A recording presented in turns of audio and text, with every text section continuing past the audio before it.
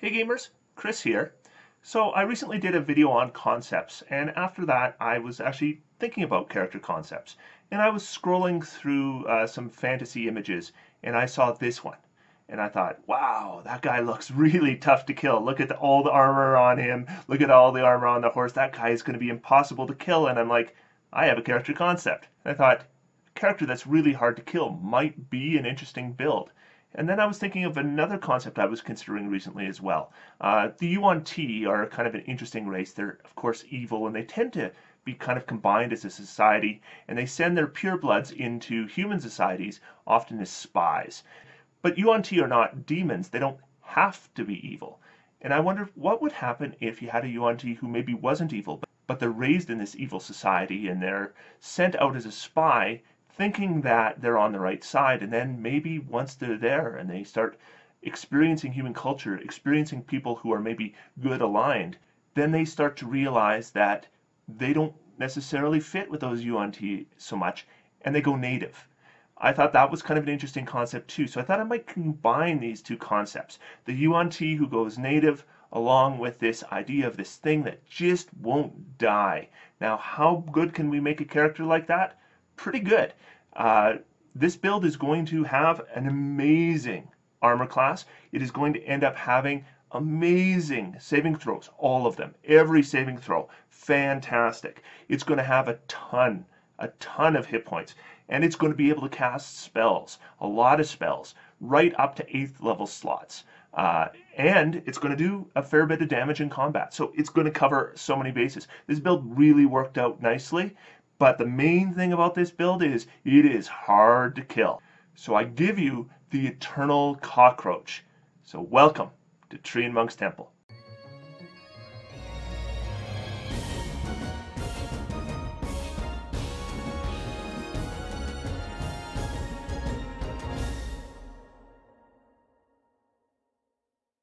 So our goal with this build is pretty simple. We are going to focus primarily on making sure that this character is strong defensively in every single way.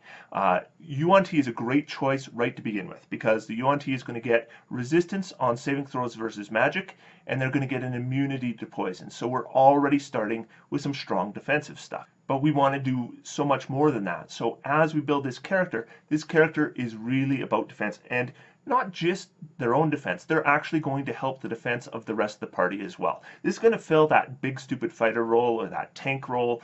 They're going to be right up front, taking as many attacks as they can, but they're also going to make their allies about around them better as well. So the race we're going with is the Yuan-Ti Pureblood.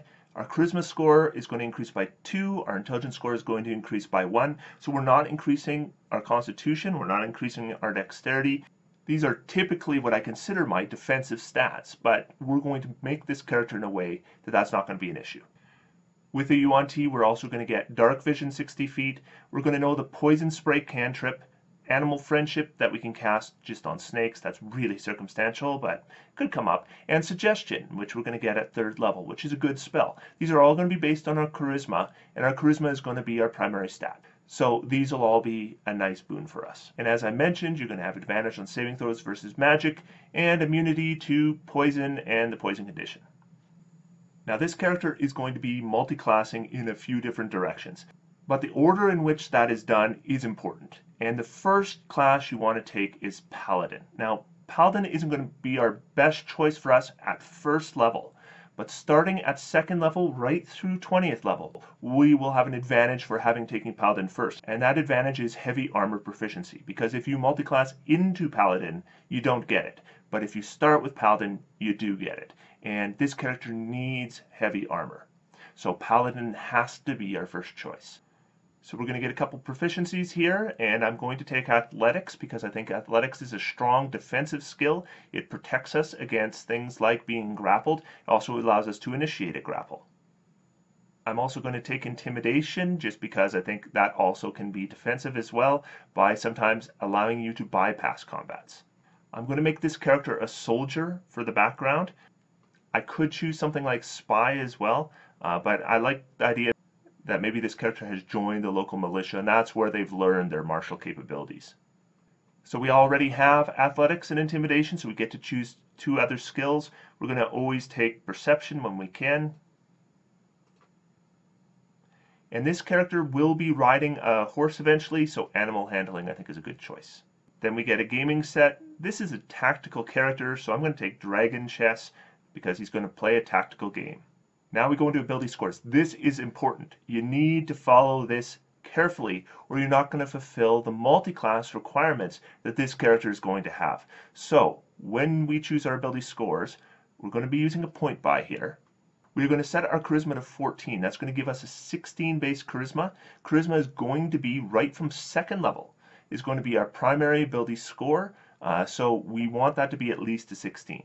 We are going to set our strength to 13. This is important because if you want to multiclass out of Paladin, you need to fulfill the multiclass requirements of Paladin. That includes a strength requirement of 13. So we're going to set that to 13. It's going to allow us to use our chainmail without any difficulties at level 1, and it is going to allow us to multiclass out of Paladin. We are going to set our intelligence to 12.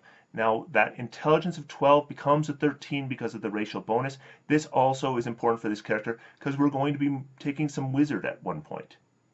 Then we're going to be setting our constitution to 14. This is going to give us uh, plus 2 to our saves and plus 2 to our hit points every level. So I think 14 is kind of a minimum here. That gives us only 4 points remaining. So I'm going to put 2 in both my wisdom and my dexterity to get them to a 10 so there's no negatives on those. Now we're going to go to our starting equipment. We're going to begin with the martial weapon and the shield. Uh, I'll just take a long sword. At first level, I'm not really going to be using a long sword, but starting at second level, I might be using a long sword. Uh, then I can take five javelins or any simple melee weapon. Again, probably not going to be using them, but I'll grab the five javelins. Then we can take a priest pack or an explorer's pack. I find the explorer's pack tends to have the items that we use in adventuring more often. Then we get chainmail and a holy symbol. We'll say it's an amulet. We can get a dagger a broken blade or a piece of banner. I will take a piece of banner just to be interesting. And then we get a set of bone dice or a deck of cards. We're not proficient in either of those things, but let's take the dice. So first level is the worst level for this character. Second level is going to be a huge boost for us. Uh, but this is what it looks like at first level. We do have a good armor class. We do have good hit points. Uh, the issue here is our offense because the long sword is a plus 3 to hit with a d8 plus 1 damage. That's not good at all.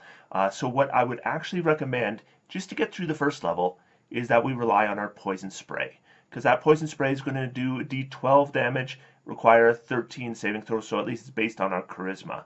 Uh, and I'll and I would think that you will see more damage on average with that poison spray than you would through using a sword.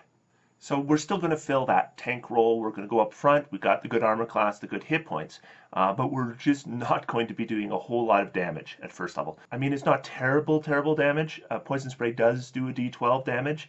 And d12, we're not adding anything to that. So six and a half damage on average. That's below what we would expect most martial characters to be able to achieve at first level, but it's not terrible. Things will get a lot better right at second level here. So we're going to add in now Warlock and we're going to take our Hexblade dip.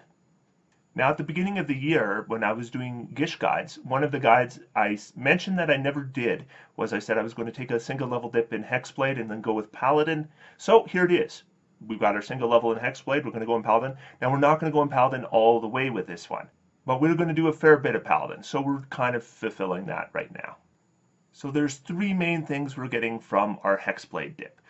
The first is we're going to get the Hexblade Curse. That's going to give us more damage against a single target. Uh, so we get bonuses to damage rolls against a target equal to our proficiency bonus. Uh, we can crit on a 19 or 20, and if it dies, we also heal ourselves. The second thing it's going to give us is Hex Warrior. That's going to give us the ability to use our Charisma modifier on a single one-handed weapon. So now we can use this ability on our longsword to be good with the longsword. And finally, we're going to get some spells. So we're going to get two cantrips and two known spells. We're only going to get one casting, but that casting is for every short rest. So the cantrips I'm going to take are Booming Blade and Green Flame Blade. These are our two melee cantrips. Uh, they're going to give us some damage options in combat. And when we hit level 5, we're not going to have our second attack yet. Uh, most martial characters will be getting their second attack at level 5. We're going to have to wait till level 6. Uh, at that level, those are going to be huge because Booming Blade and Green Flame Blade have both scaled at that point. But even before then, at levels 2, 3, and 4, when we have enemies that are bunched together, Green Flame Blade is going to be a good option. If we have an enemy that we just kind of want to lock down, and this is going to be important for us for a long time, using Booming Blade to help lock down enemies. Because we're going to go into combat, we're going to hit them with a Booming Blade, and then if they want to leave combat with us, they're going to take that additional damage. We are then going to get two first level spells, and these are basically both a must. We're going to take Armor of Agathys, and we are going to take Shield. Now, I'm not really going to be using Armor of Agathys at this level, but it is a spell that scales exceptionally well. And we are going to have a character here that's going to have very high level spells, but not a lot of spells to fill those slots. Uh, so we're going to be using those slots for things like Armor of Agathys. And Armor of Agathys does two different things. It gives us five temporary hit points, and if a creature hits us with a melee attack while we have these hit points, it takes five cold damage. Now the reason this scales so well is you're getting additional 5 hit points and additional 5 damage for each level of spell. But the thing to remember is, uh, so let's say we cast this with, say, a 7th level slot. So then we're getting 35 extra hit points and we're doing 35 damage. We might often take attacks where we're taking significantly less than 35 hit points. We might be taking 5 hit points at a time. Each time we're hit, they're going to take 35 cold damage. So we end up inflicting more damage than we take consistently with this spell. And if we have lots of slots, we can continually reapply it. And this is not requiring a concentration, so we can apply this along with other good spells that do require concentration. Again, not a trick I'm going to be using at this level. I just don't have enough spells yet. Uh, but as we move up in level, having Armor of Agathys on our list is going to be very important to this build. The second one, Shield, is basically a no-brainer. This adds 5 to our armor class. Now, we have a decent armor class already, but adding plus 5 on it at need is going to be huge. Now, we can only do it once, but it's once. And as we go up in levels, we'll be able to do it more and more. So if we go back to our character sheet, what we can do now is we can select our longsword, and we'll just let D&D Beyond know that it is now our hex weapon, and we're going to see a change. So now it has a plus 5 to hit for D8 plus 3 damage, that's decent damage and a decent to hit. Uh, this character isn't a striker. Doing damage isn't our primary purpose, but now at least we are in the same league as other characters. And remember, we can use Hexblade Curse to increase that damage to a d8 plus 5. Uh, not bad damage at all. We have 19 hit points, and remember, we do have Lay on Hands. We can heal up to 5 hit points. Uh, usually with lay on hands, especially with when it's down at those low levels. I like to use it as a one hit point gain for somebody who's maybe making death saves. Uh, it stabilizes them, it gives them consciousness, and then you can do that up to five times. So we're going to go back into leveling here, and as we level up, what we're going to do is we're going to take Paladin right to level 8. So the second level of Paladin is going to do a number of things for us. It's going to give us spells, and it's going to give us a fighting style, and it's going to give us smite. The fighting style we will choose is defense. This is going to make our armor class even better. Are going to get four first level spells. Uh, I'm liking Shield of Faith here. It's a concentration spell, going to increase armor class by another two. So we can get that 18 armor class up to a 19 with our defensive combat style, and then with the Shield of Faith, now it's up to 21. If we cast a shield on top of that, now it's 26. Protection from evil and good is going to give disadvantage to certain creatures like undead and fiends uh, when we're in combat with them. Providing disadvantage is better than a plus two armor class. So this, so if we are fighting those kind of creatures, I'd be using that as a defensive spell rather than Shield of Faith. Bless is a good choice for just a buff. It gives bonuses to saving throws for both you and a couple allies, uh, and it's going to help you hit and a couple allies hit. Uh, so just an all-around good buff uh, something to do when we are not necessarily worrying as much about our own armor class defense, maybe more about our saving throw defense, and we want to do a little bit of a buff to improve our offense. But the most important spell we're going to take is Compel Duel. This is a bonus action cast.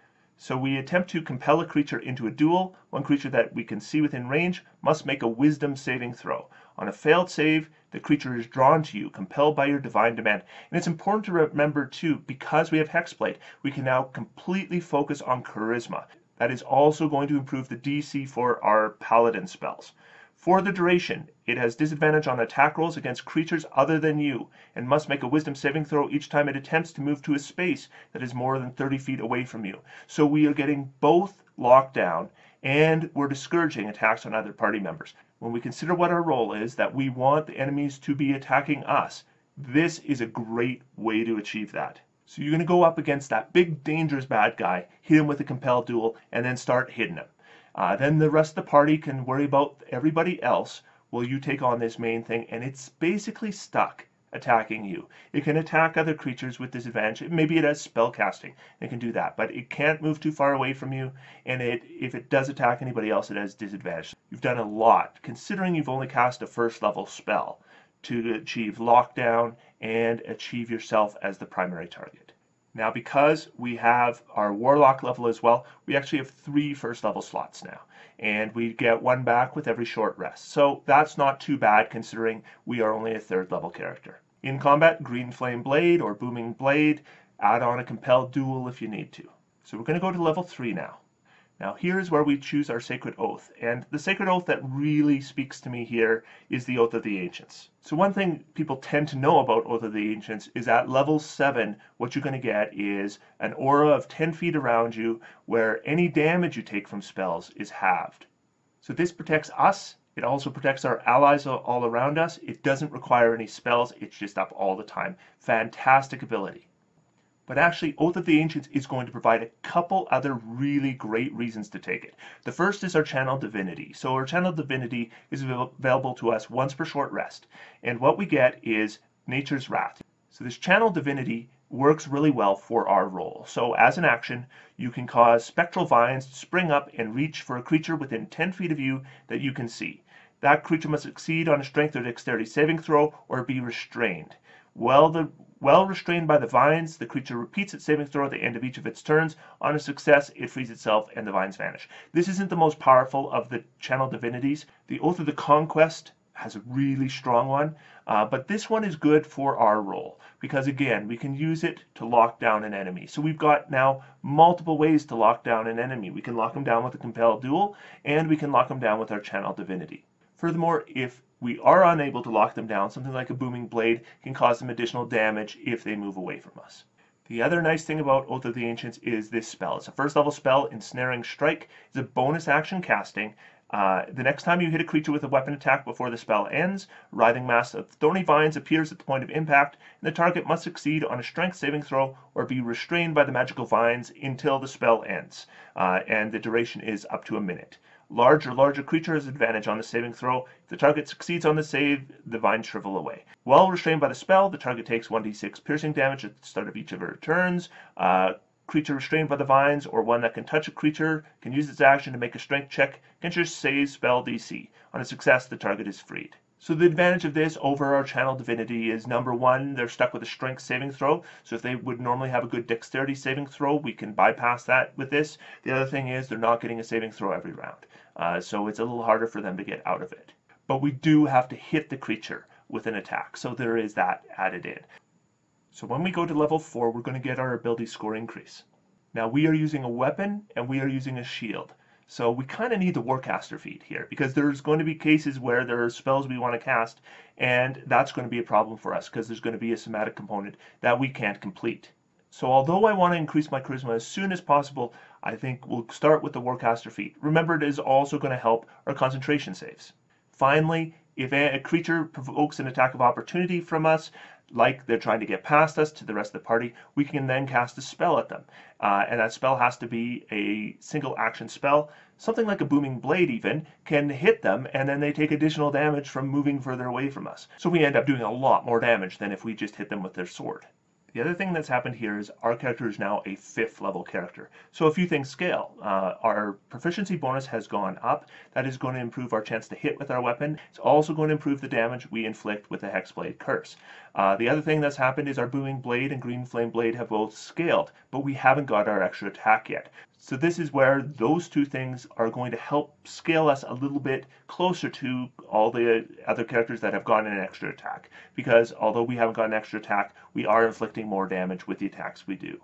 Finally, the additional proficiency bonus, of course, means that our save DC has also gone up. So we have lots of effects now that are providing saving throws, and now they're a little harder to resist. So going to level 5 in Paladin makes this a 6th level character, and there's a lot of good stuff here. The first thing we're getting is an additional attack. Now we're going to have to choose. Are we going to do a booming blade, or are we going to attack twice? And that will really depend on a couple different things.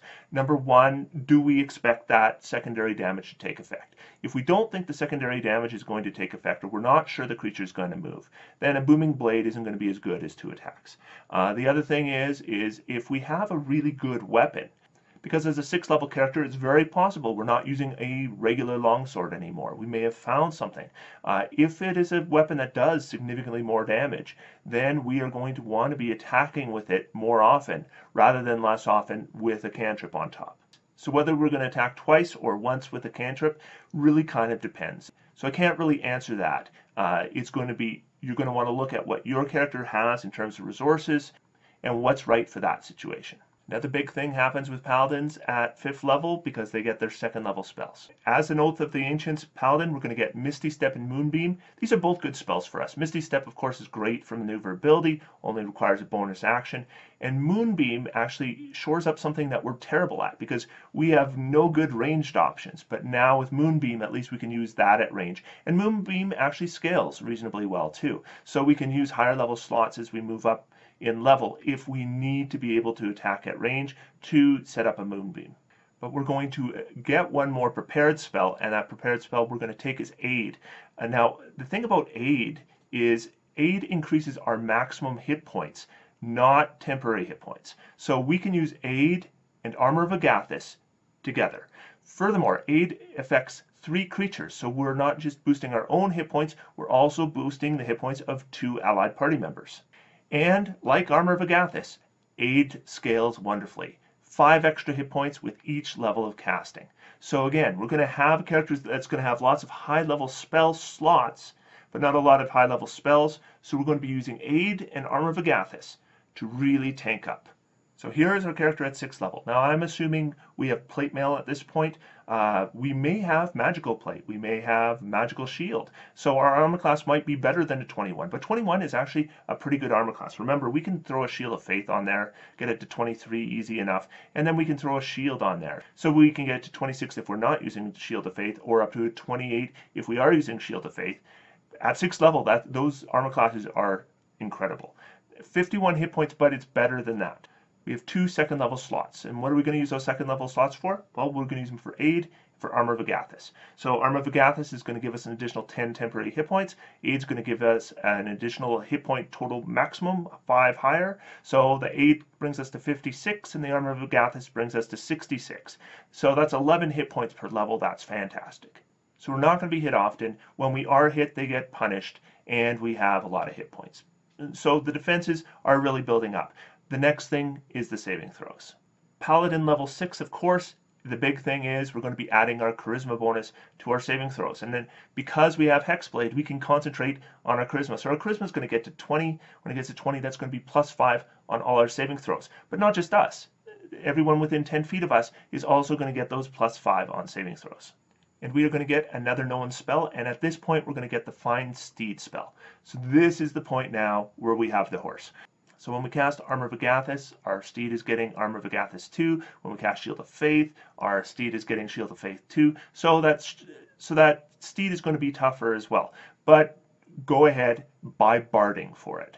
Uh, you want to have this steed be pretty tough as well. Now, the steed is not going to be as invincible as we are. It can die. But if we put good barding on it and a couple defensive buffs, it's not going to be easily taken down the steed is really important for us here. And the reason is, is because we're wearing armor that we don't have the strength to qualify for. So what happens when you put on plate armor and you don't have enough strength? Well, what happens is your speed reduces by 10 feet. So currently we're moving with a 20 foot movement rate. Now we can do things like Misty Step so we can alleviate that to some degree, but that uses up valuable spell slots.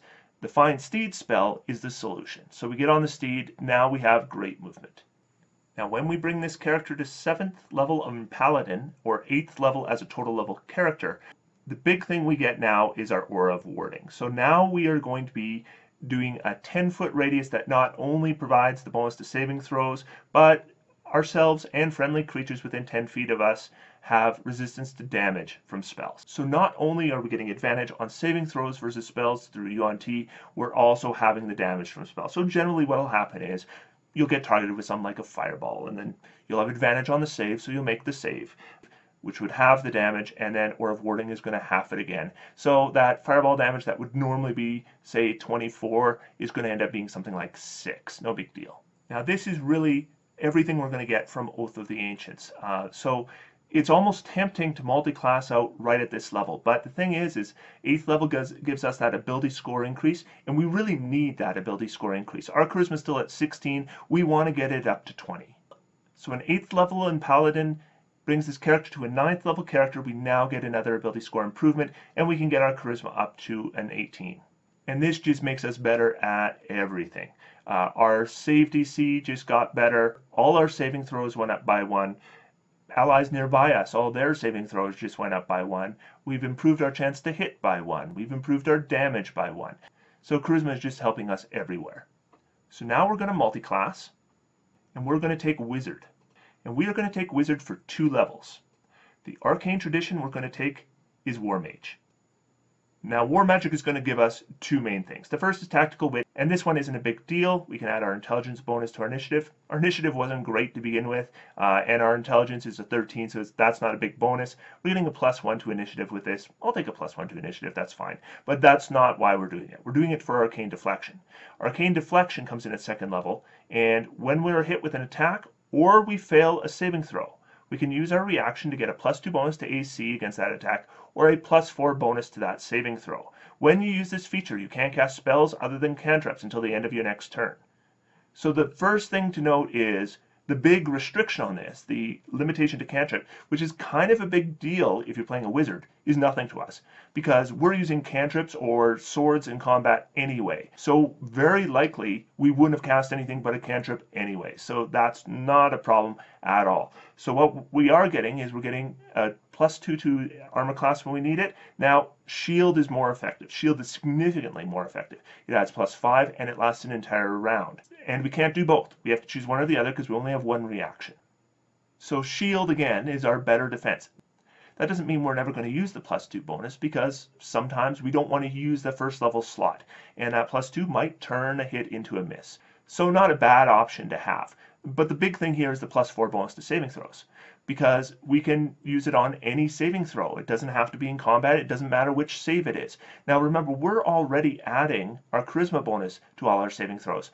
Now we can add another plus four. So once we have a charisma score of 20, that's plus nine to every saving throw before we even start. So we are going to get some spells here. Remember, these are based on our intelligence, and our intelligence is at 13, so we don't want anything that's going to provide a saving throw or requires it to hit roll. We're going to get three cantrips, so again, we want stuff that's not going to have saving throws or to hit rolls, so let's take stuff like Prestidigitation.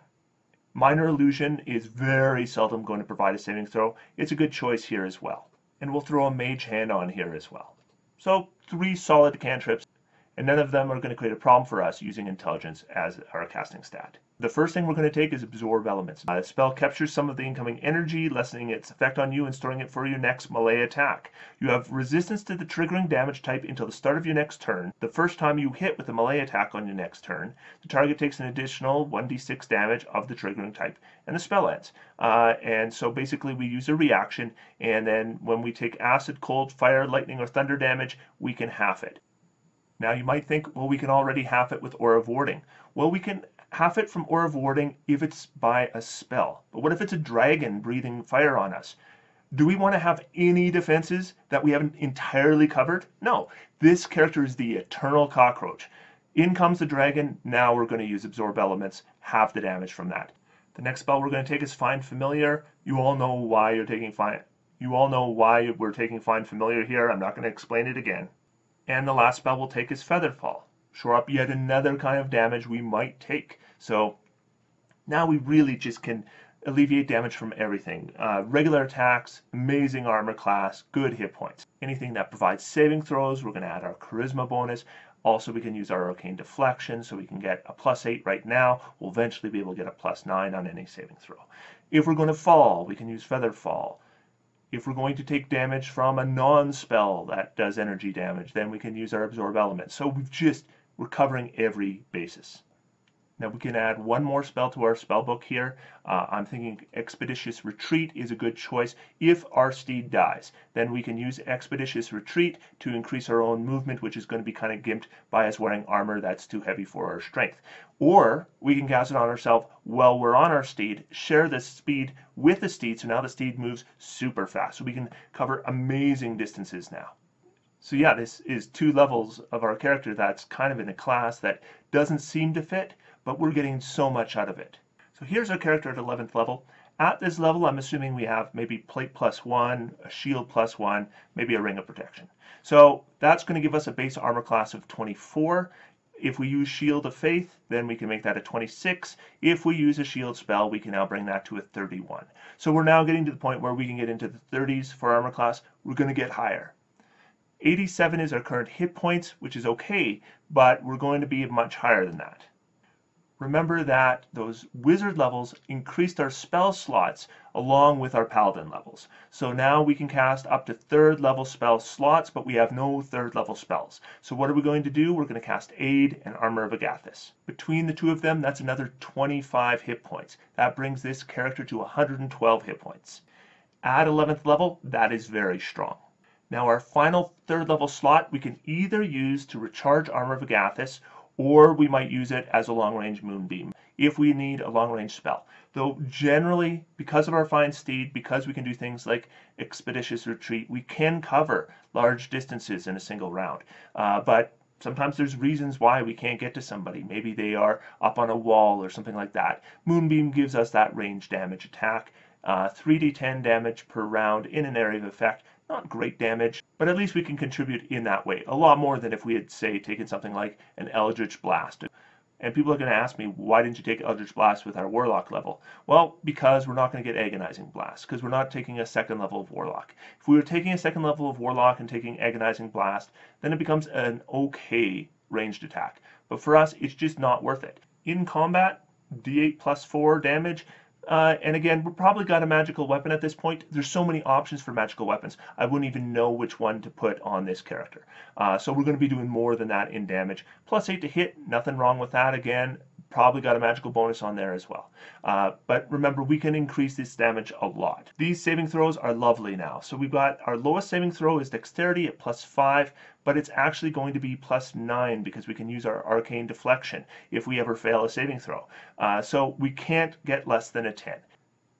Now with Constitution, we can't get less than 12. And remember, if we're making concentration save from damage, we're doing that with advantage. So imagine plus 11 with advantage we're almost never going to lose concentration. So to some extent, this is kind of an apex of this build. All the basics have all kind of come together here. We have good armor class, good hit points, good saving throws, we can resist all kinds of different damage, and we have a fair number of spell slots. So a lot of things have worked in our favor here. Uh, and I thought a lot about where I would go from with this character from here uh, because fighter is an interesting selection, especially something like a battle master or an Eldritch Knight just to increase those spell slots, because things like Action Surge, of course, can be very useful here as well.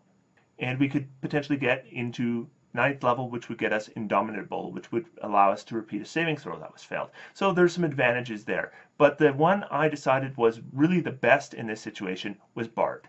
So Bard is going to give us an additional proficiency.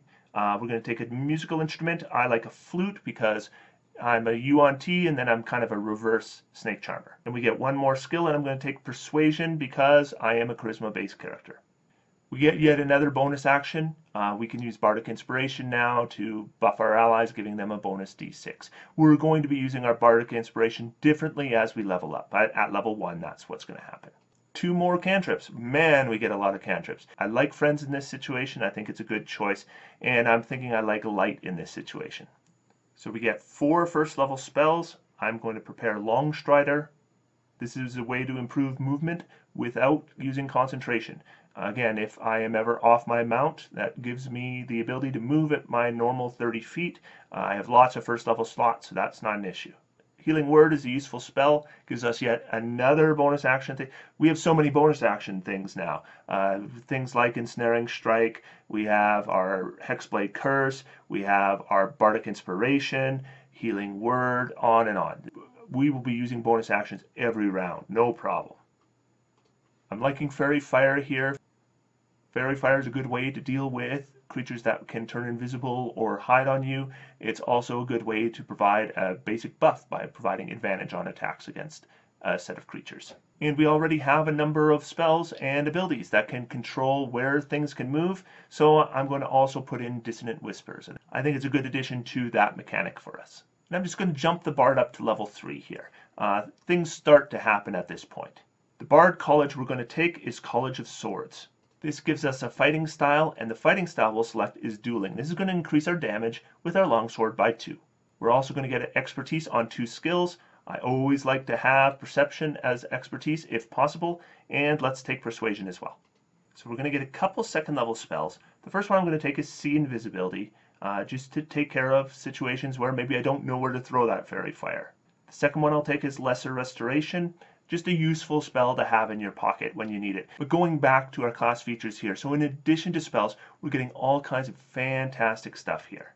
This one's minor, Song of Rest. When you take a short rest, you can basically have the party add a die to their short rest healing, which is okay, uh, but it's not, but it's not super powerful.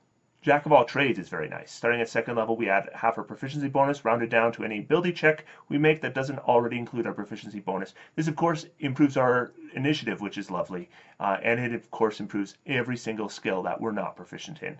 Uh, and we are getting up to a higher level, so our proficiency bonus is also increasing as well. So Jack of all trades becomes more and more valuable. But the big one here is Blade Flourish. So when, when we make an attack, we can use one of our Bardic Inspirations, and we have four of them a day to do a defensive flourish. There's actually three kinds of flourishes, uh, and you can choose any of them. But the defensive flourish is the one I'm going to kind of concentrate on here. So we expend one use of Bardic Inspiration to cause the weapon to deal extra damage to the target we hit equal to our Bardic Inspiration die, which at this point is a d6. It's going to become a d8. The damage equals the number you roll on the Bardic Inspiration die. You also add the number rolled to your armor class until the start of your next turn. So like Shield, this is one of those armor class boosts that last the entire round. So uh, so many armor class boosts affect one attack, but we can be attacked many times, especially with this character that is specifically trying to be the target of enemy attacks. We might be attacked many, many times. Uh, so this is going to add armor class to all those attacks. Uh, at this point, we would expect it to be between three and four uh, for a full round, up to four times a day. Now, remember, once we get fifth level in Bard, then we're going to get these back on a short rest. And once we get our 20 in Charisma, we are then going to be able to do this five times per short rest. So that's quite a bit. So here's our character at 14th level. We now have 108 hit points, but now look at our spells. Because we are adding our progression from Paladin, from Wizard, and from Bard together. So the highest level spell we have is a second level spell, but we can cast up to fifth level spell slots now. So an aid cast with a fifth level slot, which is what I would do with this, is going to give 8 hours of 20 extra hit points to three party members, including myself. And then I have three fourth level slots. One of those fourth level slots I will certainly be using for Armor of Agathys. That's going to give me an additional 20 hit points. So that's 40 additional hit points. Takes this 108 hit points to 148. Again, we're holding this pattern of having more than 10 hit points per level. That's really quite good. Now at this point, I'm assuming we probably have a cloak of protection, uh, maybe plate plus two, maybe a shield plus two. Based on that, our base armor class is 27, which is a strong armor class. Uh, but again, we can increase this in so many ways. First off, if we put a shield of faith on, then it's going to become a 29. If we throw a shield spell on top of that, it will become a 34. If we have a defensive flourish, That'll probably add another three or four. We're now into the high 30s in armor class. Now this is limited use. We don't have shield every round. We don't have blade flourish every round. Uh, but we can do them a reasonable amount of time. I mean, our character has five first level slots, and it gets one of them back with every short rest. So that's a fair number of first level spells that we can use on things like shield. And again, we're not even adding shield until we've already been hit. And most of the time, we're going to be missed. It's going to be pretty rare. Uh, we're almost getting to the point now where the only thing that'll ever hit us is a critical hit. Uh, and that's where we'll be glad that we have that Armor of Agathys up and we have those extra hit points through aid. And remember, we can recast our Armor of Agathys, get those hit points back. Once we get through that Armor of Agathys and get into our actual hit points, we also remember have Lay of Hands as an 8th level Paladin now, so we can heal 40 hit points in one action if we want. Because of Jack of all trades, our initiative now is at plus 3. That's not bad at all. So basically we have a dex of 10 because plus 1 from Tactical Wit and plus 2 from Jack of all trades. So we're going to jump up the Bard to level 5. That makes this a 16th level character. Now one thing I do like about this build is right from level 2, it seems like every couple levels we're getting so much because this one kind of hit, say, a peak at level 12 where everything seemed to come together. And often when you add more onto it, you don't feel like you're getting as much. But with Bard here, I really do. I think that this character is advancing very nicely. Number one, ability score improvement. We're going to get our charisma up to 20 at last. Of course, you know we have all kinds of benefits from that. But big things here is our inspiration just got better. We uh, not only have Font of Inspiration, which is going to allow us to get all of our uses back on a short rest, but we've increased our ability score, which gives us another use of Bardic Inspiration uh, per short rest. And finally, our die type has changed from a D6 to a D8. So it's improved in three different ways. We're picking up another cantrip. I'm not even sure what to take here. I'll go ahead and take Mending. So many cantrips with this character and I get two third level spells, I'm going to take Dispel Magic, and I am going to take uh, Leomund's Tiny Hut. So Leomund's Tiny Hut is a ritual spell, so it's not going to use any spell slots, uh, and then it, of course, helps us enable a long rest. Uh, somebody else might already have Leomund's Tiny Hut in the party, then you might want to take something else. But if nobody else has it in the party, now we do, and it is a very useful spell to have. Uh, Dispel Magic, one of the nice things about it is that if we want to dispel higher level spells, we can use a higher level slot. We have all these extra higher level slots available, uh, so something like Dispel Magic works very nicely. So this is now a 16th level character. Uh, I haven't changed the armor class at all, so 27, Shield of Faith 29, Shield makes it 34, uh, and then if we did a defensive flourish on that, we're now using a D8, so we might expect 4 or 5. So we're looking at 38 or 39 armor class that we can get together. Now, there's no creatures in the game that can hit that on less than a 20. We now have third level spells, sixth level spell slots. So aid is now going to give 25 hit points to three party members, including us. That brings us to 147 for hit points. Then we can use a fifth level slot for an Armor of Agathys for another 25. That's going to bring us to 172 hit points. 16th level character, we're still averaging over 10 hit points per, per level. And look at these saves. The worst save there is dexterity at plus 7 and that's plus 7 without arcane deflection, so it's actually plus 11. Plus, most of our saves are going to be made with advantage, uh, so we're really just not going to fail saving throws. And I don't care what save they target. And we're immune to disease, we're immune to poison and the poison condition. We can give ourselves resistance to all kinds of damage. Uh, so this character, the Eternal Cockroach, man, hard to kill. And we haven't totally given up offense either. Remember, this is a smiting character, so we can add smites to our attacks. We have multiple attacks per round. We have other things that add to damage as well, like things like an ensnaring strike, for example. Or maybe we're doing a booming blade or a green flame blade. Maybe never mind the fact that we can do spells when we do attacks of opportunity. So there's so many different ways now that this character really comes together to be just super, super tough and still delivers a decent amount of damage. This is not Sordin kind of damage. Uh, if you want a single target striker, this isn't that character. This character is about the defense. But we're not bad offensively. We still hit pretty hard. Now there are less features to talk about in these last four levels, so I'm going to go ahead and take Bard right up to level 9. We'll look at the 20th level character and see how it all comes together. So we're going to get an additional ability score improvement and we're going to take a feat. So we're going to take the Sentinel feat. Sentinel feat is a good feat for somebody who is a lockdown character. Now we have lots of ways we can lock things down. We can use our channel divinity. We can use ensnaring strikes.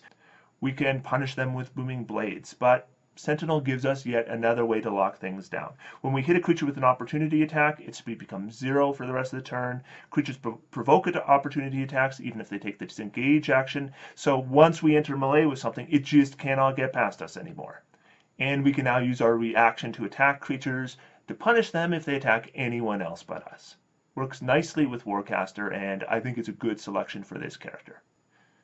Now, if you wanted to be ridiculous, you could take toughness here because the tough feat, of course, would give you an additional 40 hit points. Uh, but we have lots of hit points, so I just kind of figure we're we're stacking on things that are already where they need to be. Uh, I don't see a lot of value in adding even more hit points to this character. I see more value in adding abilities to this character. That's why Sentinel I think is better than Tough.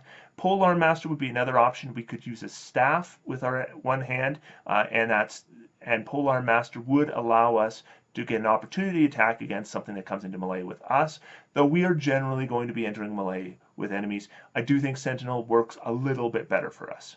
We're going to be choosing four more spells, and we can choose up to fifth level spells. Uh, so we're going to look at our fourth and fifth level selections, probably take two of each. The two fourth level spells that just jump out at me. Freedom of movement takes care of us when we are fighting creatures that impede our movement casting it on themselves is probably a good buff to do. Doesn't use our concentration, lasts an hour. Uh, I think that's worth a fourth level slot. Uh, the other one, greater invisibility, I think is really good because we can shore up our defense even more. Now creatures have disadvantage to attack us. Disadvantage to attack us, and they need a 20. Good luck but we also are improving our offense, and fairly significantly. Remember, we could combine this with something like a Hexblade Curse, so now we're getting advantage on multiple attacks per round with a crit range of 19 or 20. That means fairly often we're going to get crits, and when we get crits, we can smite to double the damage of the smite, and we can do up to 5th level smite. So that's additional 68 damage becomes 12d8 additional damage on one attack uh, additional damage. So that's pretty good damage. Again, we're not quite in that single target striker, but a tank character should still be decent offensively. This character is. For our fifth level slots, we're going to go a little more into the healing role. We'll take Greater Restoration, we'll take Raise Dead. Uh, so this just kind of covers up all the healing stuff. Uh, we, of course, can heal 40 hit points with our Lay on Hands. We can also help with things like disease or the poison condition with our lay on hands as well. We have our lesser restoration for a number of conditions. Greater restoration takes care of other conditions, some that there's no other way to take care of, like a permanent stun or a petrification. Uh, and then if characters actually die, then we have the raised dead as well. So we've got all our bases covered there, except for healing just massive quantities of damage. That's going to have to go for somebody else. So let's see how this all came together at 20th level. This is a great 20th level character. Uh, when we're talking about this style of character, the big stupid fighter, uh, the tank, the Eternal Cockroach is going to excel in that role from levels 2 through level 20 the Eternal Cockroach is a good choice for that role. Things really come together around level 11, and then it just keeps rolling on. Bard just delivers and delivers for this character. Uh, so I'm assuming now we probably have plate plus 3, shield plus 3. So that's giving us a base 29 of armor class. If we're adding a defensive flourish, then we're probably looking more like a 33. If we say through a shield of faith, we could get 35, then we should throw a shield spell on. We could get a 40 armor class with this character. That's really very good. And we can do it multiple times. This isn't just once, and it lasts the entire round. Now we have 150 hit points for this character. That's not bad for a 20th level character, but that's not what we're going to have because we now have 8th level spell slots with this character. Yeah, this guy, this tank, has up to 8th level spell slots at 20th level. Uh, so we're going to be casting an 8th spell with our 8th level slot. That's going to give us additional 35 hit points and two allies an additional 35 hit points. That brings us to 185. Then we can use a 7th level slot for an Armor of Agathys. Now we have 220 hit points. And remember, Armor of Agathys can be cast over and over again. Uh, we're not going to be using a 7th level slot with it every time. We might use 6th, 5th, even 4th level slots. Uh, but remember, we're also doing damage to our enemies with this spell. Not that often, because we're almost never getting hit, of course. Our best defense and offense uh, boost is with a greater invisibility, added on with a Hexblade Curse. So we do a greater invisibility, Hexblade Curse, go in there, start smashing stuff. We're going to be critical hitting all the time, throwing on smites. We have so many slots, so, so many slots. And we can easily throw fourth and fifth level slots out uh, for smites without a big problem. Uh, and when we're doing that on a critical, it's going to be adding a lot of damage. So we're going to end up doing a reasonable amount of damage with this character. We already went over the saving throws. They're all fantastic uh, because remember, you're adding plus four to all the numbers you see here. Uh, and skills, of course, we have jack of all trades, so we're decent at any skill we try. And our persuasion plus 17, our perception plus 12, 22 passive perception. We can get resistances on everything. Plus we have a number of immunities. Uh, this character like I said, I think this is about as hard as you can make a character to kill. And it surprised me when I made this character that it still kept up the offense reasonably well, still has a lot of spells, uh, and a lot of spell slots. Uh, so I like the way this character comes together. Super strong on defense, but doesn't give up on the other stuff. So that's the Eternal Cockroach, one tough son of a bitch. So I'm going to sit back. I'm going to relax. I'm going to have some fun. D&D's for everyone, and I'll see you guys next time.